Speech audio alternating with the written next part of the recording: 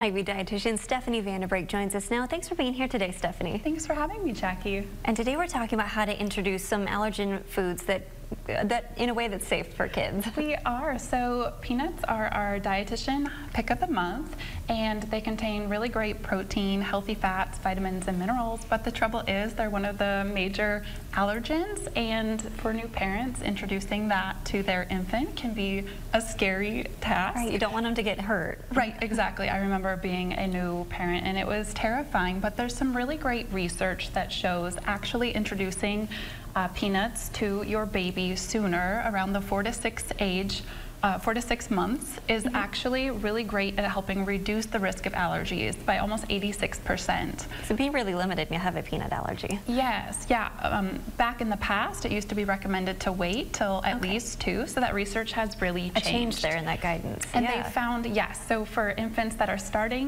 uh, with peanuts more around the four to six month age, they are much less likely to have an allergy. So especially um, for families if their child has severe eczema asthma or an egg allergy, they might be a little bit more at risk for a peanut allergy. So definitely talk with your child's pediatrician and make a plan to do the early introduction.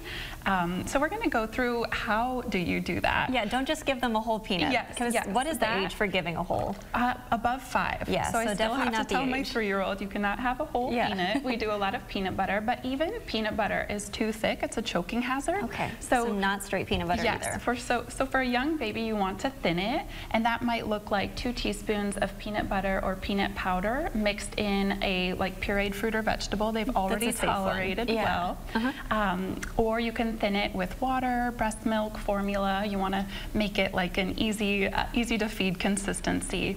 Today we're going to do a recipe where you're mixing it into whole milk plain yogurt.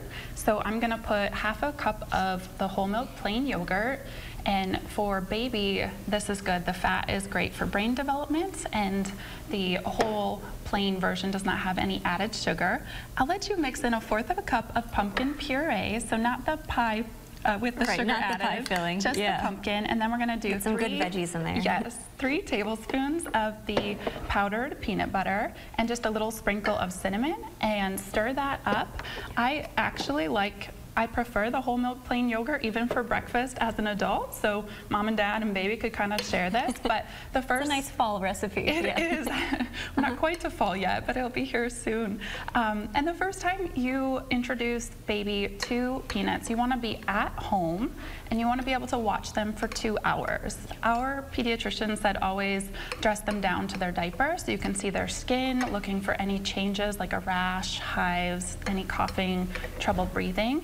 And so you don't want to be at a restaurant, you don't want to be um, putting them yeah, yeah, to daycare or putting them down for a nap by themselves. You want to be able to watch them for two hours, so it's kind of a time commitment.